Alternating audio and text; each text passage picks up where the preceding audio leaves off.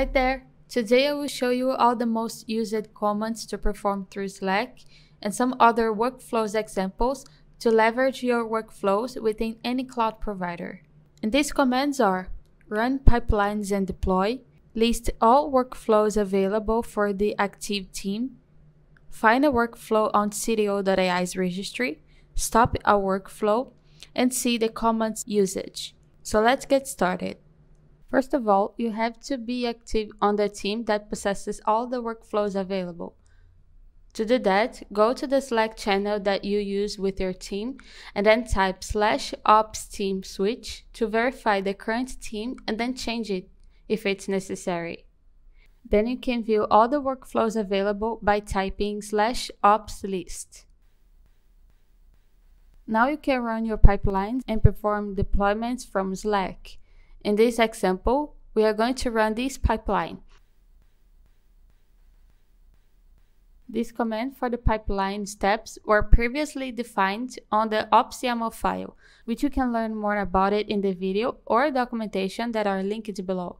Once this pipeline is running, you will see its status is updated on the platform, and you can follow its progress on the log messages.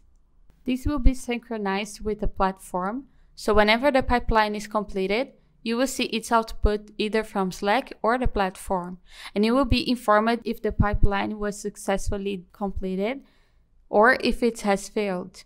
For both scenarios, you can check the logs by clicking on this button or from the platform directly. Now the same approach can be applied when you run a deployment. In this example, we are going to run this command slash ops run deploy. Same thing here. All the steps that are prompted to our developer were also previously defined on the ops YAML file. You can follow the progress by checking its logs when clicking on the View Logs button. To find the workflows under CTO.ai's registry, type slash ops search and click on the ops registry website button.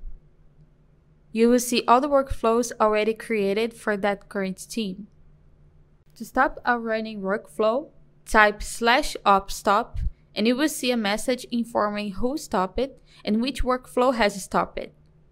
This is important because you might have multiple workflows running simultaneously in a real environment.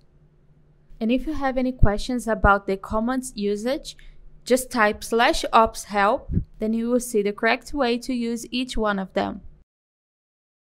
The four basic workflows are deploy, which you already know, the destroy, that will destroy the infrastructure on any cloud provider, the setup, which will set up a new infrastructure on any cloud provider, and Vault to manage your secrets and configs under CTO.ai's Vault.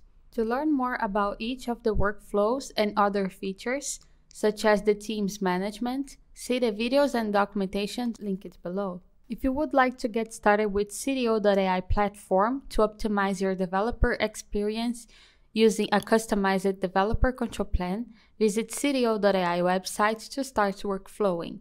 Thanks for watching this video and see you next time.